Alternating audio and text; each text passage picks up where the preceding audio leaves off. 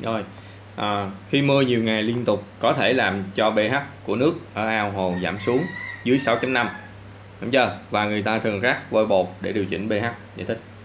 Thì à, đầu tiên ấy thì chúng ta phải hiểu như này.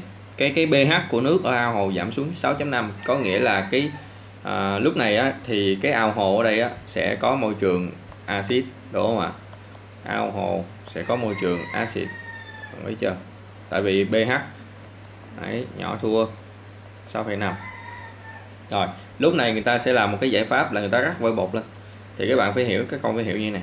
Vôi bột công thức cơ bản của nó là CaO sẽ có đặc tính của một bay. Hay người ta gọi chính xác thằng này á là basic oxide. Đúng không ạ? Basic oxide. Khi mà tương tác với nước á, thì ông này sẽ tạo ra CaOH hai lần. Thì tất nhiên rồi tại vì nước này có trong ao hồ này các bạn có trong ao hồ. Thì hai thằng này khi ta rắc vôi bột lên thì tạo ra sát lần có tính bay. Và lúc này á, bay sẽ à, hóa lần sinh ra đấy là là bay đấy sẽ tương tác trực tiếp với axit. Tức là tương tác trực tiếp với pH nhỏ thu 6.5 và làm cho trung hòa cái lượng axit đó tức là thực hiện cái phấn trung hòa. Đúng không ạ? Thực hiện phấn trung hòa và làm cho à, tăng cái giá trị pH 6.5 này lên.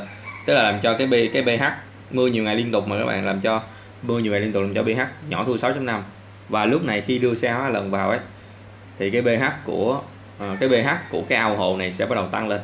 Tức là pH của nó dẫn đến một điều là gì? pH của nó bắt đầu tăng lên.